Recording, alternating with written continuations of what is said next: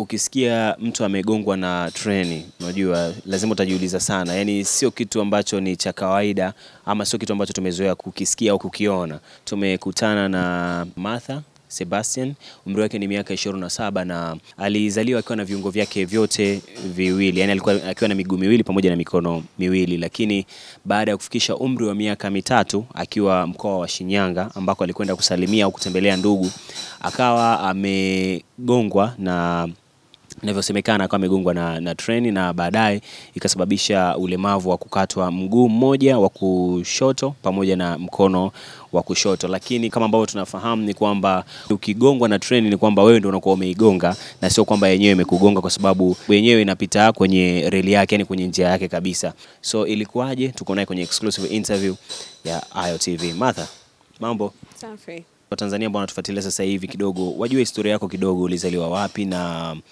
Uh, mi nimezaliwa Mwanza okay. ila Shinyanga ni kwa ndugu tu nilienda. okay. Nilipelekwa na wazazi wangu. kwao. hiyo nilipofika kule ndo nikaa nimepata hii ajali ya treni. By the way, ulizaliwa ukiwa na viungo vyako vyote viwili. Ndio, nilizaliwa nikiwa mzima kabisa. Okay. Mm. So nini ambacho unakumbuka kwa haraka haraka? Nilisimliwa tu, nilikuwa na wenzangu kwa sababu tulikuwa tunaishi kwenye quarters, nyumba za reri, rerini. Nilikuwepo na watoto wenzangu tunacheza, lakini wenyewe walikuwa ni wakubwa kidogo kuliko mimi.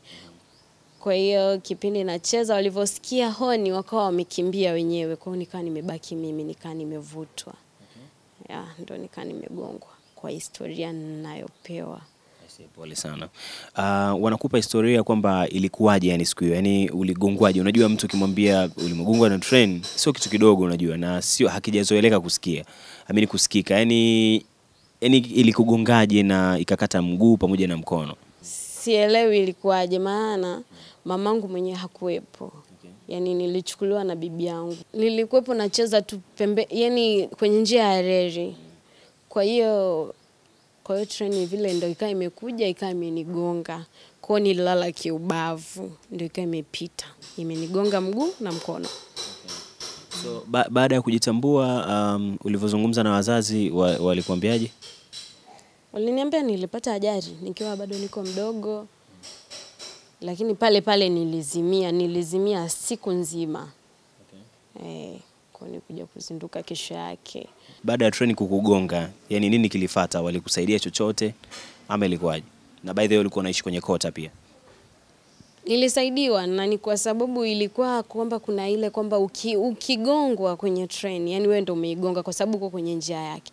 Ila nashukuru kwamba babu yangu mimi ndo alikuwa anafanya kazi pale pale, kwa hiyo walinisaidia. Mguu naona ndo una- unatembea na mguu bandia na mkono pia, lakini naona ni, ni, ni wenyewe pia ni umekatwa. Kwa maelezo ya daktari alivyoniambia kwamba mkono kwa sababu umekatiwa mbali kwa hiyo nitashindwa ule mkono kwa sababu unakuwa unafanya unafanya kazi yani unashika na nini. Kwa hiyo mkono wangu jinsi ulipokatikia hauwezi kuf, kus, yani, kuru, kus, yani kusaidia ule mkono wa bandia kufanya kazi. Kwa hiyo nitakuwa nimeka yani misuri sasa hai, nani haisaidii ule mkono kufanya kazi.